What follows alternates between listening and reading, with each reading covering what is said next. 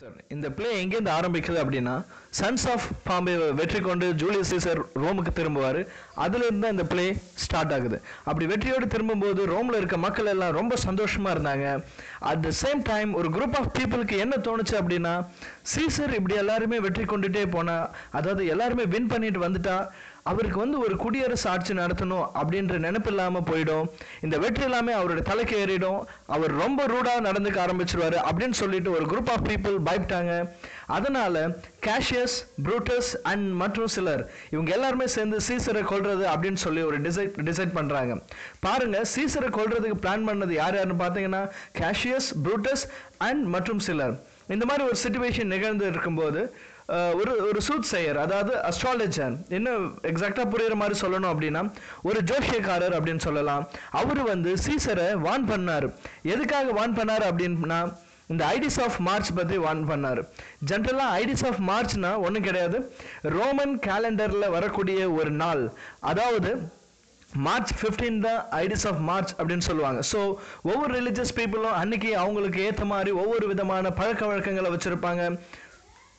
அன்னைக்கு தான் சீசரோட அசாசினேஷனும் நடந்தது. இது நடக்க போகிறது தெரிஞ்ச அந்த அஸ்ட்ராலஜர் என்ன சொன்னார் அப்படின்னா சீசரை வெளியே போக வேணாம் அப்படின்னு சொல்லி அவர் வான் பண்ணார். ஆனால் அந்த டைமில் சீசரோட ஒய்ஃப் கால்ஃபோர்னியா சீசரோட ஒய்ஃப் நேம் என்ன? கால்ஃபோர்னியா அவங்களும் என்ன பண்ணாங்க அப்படின்னா சீசரை செனட் ஹவுஸ்க்கு போக வேணாம். எனக்கு கெட்ட கனவுலாம் வந்துச்சு. நீங்கள் இன்னைக்கு அங்கே போகாதீங்க அப்படின்னு சொல்லி அவங்களும் வான் பண்ணாங்க.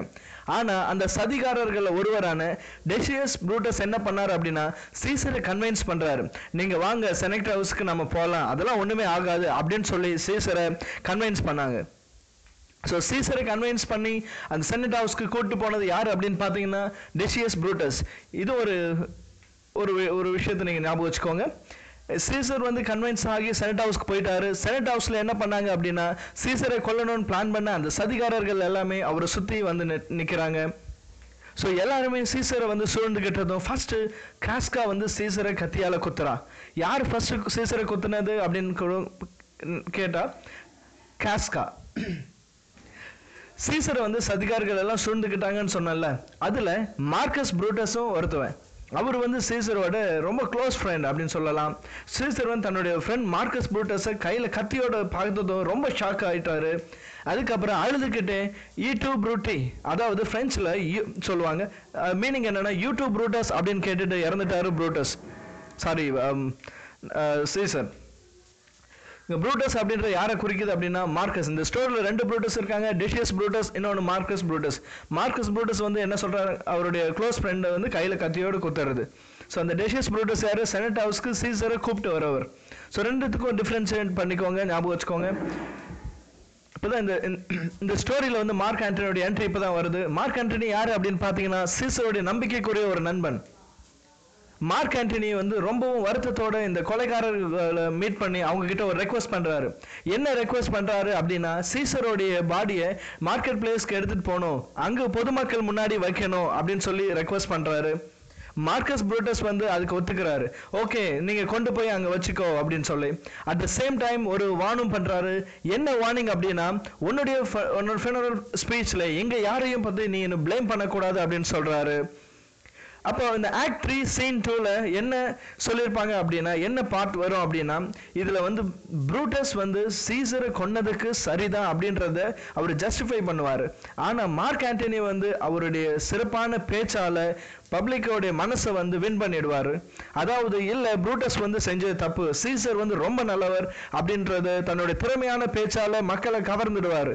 இதனால என்ன ஆகும் அப்படின்னா மக்கள் மத்தியில் ஒரு கலவரம் வந்துடும் மக்கள் எல்லாருமே சீசருடைய மர்டருக்கு பழி வாங்கணும் அப்படின்னு சொல்லி அதுக்காக புறப்படுவாங்க. இந்த கலவரத்துக்குனால என்ன ஆகும் அப்படின்னு பார்த்தீங்கன்னா கேஷியஸும் ப்ரூட்டஸும் ரோமை விட்டு தப்பிச்சு ஓடிடுவாங்க. இங்கே ரோம்குள்ள என்ன நடக்கும் அப்படின்னா மார்க் ஆண்டனி அக்டோவியஸ் சீசர் மற்றும் ஆமிலியஸ் லெப்பிடஸ் இவங்க மூணு பேரும் ட்ரைம் வீரர்ஸ் ஆயிடுவாங்க. அது அப்படின்னு பார்த்தீங்கன்னா அந்த காலத்து ரோமில் மூணு பப்ளிக் ஆஃபீஸர்ஸ் இருந்தாங்க. அதாவது மூணு பேர் கொண்ட ஒரு குரூப்புக்கு தான் டைம் வேறு அப்படின்னு பேர். அந்த மூணு பேரும் பப்ளிக் ஆஃபீஸர்ஸ் அவங்க வந்து ரூமில் நடக்கிற அட்மினிஸ்ட்ரேட்டிவ் ஆஃபீஸர்ஸ்க்கு எல்லாமே அவங்க தான் ரெஸ்பான்சிபிள் கேஷியர்ஸும் ப்ரூட்டஸும் ரோமை விட்டு தப்பிச்சு போனாங்க இல்லையா? அவங்க வந்து இப்போ பிலிப்பீனில் நடக்கக்கூடிய போரில் தோற்கடிக்கப்பட்டுருவாங்க. ப்ரூட்டஸ் வந்து இதை தற்கொலை பண்ணிப்பார். எப்படின்னா தான் கத்தியால குத்தி தற்கொலை பண்ணிக்கிறாரு. ஆக்சுவலாக இந்த ஆக்ட் த்ரீ சீன் டூவில் வந்து நம்ம டெக்ஸ்ட் புக்கில் கொடுக்கக்கூடிய இந்த எக்ஸ்ட்ராக்டை funeral oration of Brutus and Mark Antony அப்படின்னு சொல்லுவாங்க. அதாவது இறுதி சடங்குல மார்க் ஆண்டனியும் ப்ரூட்டஸும் பேசக்கூடிய இதை தான் இதில் கொடுத்துருக்காங்க நம்ம டெக்ஸ்ட் புக்கில் ஸோ இப்போதைக்கு ஜூலியஸ் சீசரில் பிளேவை பற்றி ஒரு நல்ல ஐடியா கிடச்சிருக்கும்னு நினைக்கிறேன். இதோட இன்ட்ரொடக்ஷன் ஃபுல்லாக நம்ம பார்த்துட்டோம். ஸோ இந்த கதை பற்றி இப்போ நம்ம தெரிஞ்சிடுச்சு. இது வரைக்கும் நம்ம பார்த்த இம்பார்ட்டன்ட் கேரக்டர்ஸ் யார் யார் அப்படின்னு பார்க்கலாம். ஃபர்ஸ்ட் பார்த்தீங்கன்னா ஜூலியஸ் சீசர் நெக்ஸ்ட் வந்து அவருடைய ஒய்ஃப் கலிஃபோர்னியா யாரு? சீசருடைய ஒய்ஃப் கலிஃபோர்னியா அதுக்கப்புறம் பார்த்தீங்கன்னா சீசருடைய நம்பிக்கைக்குரிய ஒரு நண்பர் மார்க் ஆண்டனி அதுக்கப்புறம் சதிகாரர்கள் சொல்கிறாங்க இல்லையா? அதில் யார் யாருன்னு பார்த்தா Cassius Marcus Brutus Decius Brutus and Casca அதுக்கப்புறம் நம்மளுடைய டைம் விரன் பார்த்தீங்க இல்லையா? அது ஆக்டிவியஸ் சீசர் ஆமிலியஸ் லெபிடியஸ் அதுக்கப்புறம் சீசரை வந்து எந்த இடத்துல கொண்டாங்க அப்படின்னு பார்த்தீங்கன்னா செனட் ஹவுஸில் அதாவது சீசர் கொலை செய்யப்பட்ட இடம் வந்து செனட் ஹவுஸ் அவருடைய இறுதி சடங்குக்காக மக்கள் பார்வைக்காக அவருடைய பாடி கொண்டு வந்து வச்ச இடம் வந்து மார்க்கெட் பிளேஸ் வாங்க இப்போ நம்ம பிளேக்குள்ளே போயிடலாம்.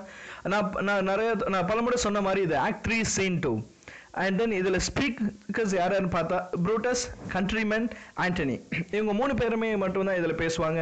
ப்ரூட்டஸ் பேசுகிறாரு என்ன பேசுகிறாரு அப்படின்னு பாருங்கள் be patient till the last Romans countrymen and lovers அதாவது கடைசி வரைக்கும் பொறுமையா இருங்க. ரோம் நாட்டில் இருக்க வசிக்கும் மக்களே இந்நாட்டு குடிமக்களே மற்றும் என் அன்புக்குரியவர்களே தயவு செய்து கடைசி வரைக்கும் பொறுமையா இருங்க. Hear me for my cause and be silent that you may hear believe me for mine honour and have respect to mine honour that you may believe எனக்காக என்னுடைய காரணங்களுக்காக நான் சொல்றத காது கொடுத்து கேளுங்க. கடைசி வரைக்கும் அமைதியாக இருந்து நான் சொல்கிறத தயவு செஞ்சு கேளுங்க. ஏன்னா என்ன நம்புங்க? என்னோட நேர்மைக்கும் மரியாதை கொடுங்க அப்படின்னு சொல்கிறாரு அண்ட் நீங்கள் எல்லாமே நம்புவீங்க அப்படின்றாரு. Censure me in your wisdom and awake your senses that you may the better judge. உங்களோட ஞானத்தால் எனக்கு என்ன என்ன என்ன கண்டீங்க உங்க அறிவு உணர்ச்சிகளை எழுப்பி விடுங்க அப்படி பண்ணீங்கனாலே நீங்க வந்து ஒரு பெட்டர் ஜட்ஜா இருக்க முடியும் than the any in in this assembly any dear friend of Caesar's to him I say that Brutus love to Caesar was l- no less than his if then that first demand why Brutus rose against Caesar this is இப்போ இந்த கூட்டத்தில் எந்த ஒரு நபராவது சொல்ல முடியுமா? சீசருடைய எந்த ஒரு ஃப்ரெண்டாவது சொல்ல முடியுமா? என்ன அப்படின்னா ப்ரூட்டஸ் நான்னா சீசர் மேலே வச்சிருக்கிற அன்பானது மீ நீங்கள் சீசர் மேலே வச்சிருக்கிறவுடைய அன்பை விட குறைவு அப்படின்னு சொல்லி யாராவது சொல்ல முடியுமா? அப்படின்னு கேட்குறாரு ப்ரூட்டஸ். இப்படி இருக்கும்போது அந்த நபர் அதாவது சீசருடைய அந்த நண்பர் வந்து என்கிட்ட கேட்டால் ஏன் ப்ரூட்டஸ் வந்து ப்ரூட்டஸ் வந்து சீசருக்கு எதிராக மாறினார்? அப்படின்னு கே சொல்லி கேட்டால் அதுக்கான ஆன்சர் இதோ அப்படின்னு சொல்லிட்டு ஆரம்பிக்கிறாரு ப்ரூட்டஸ்.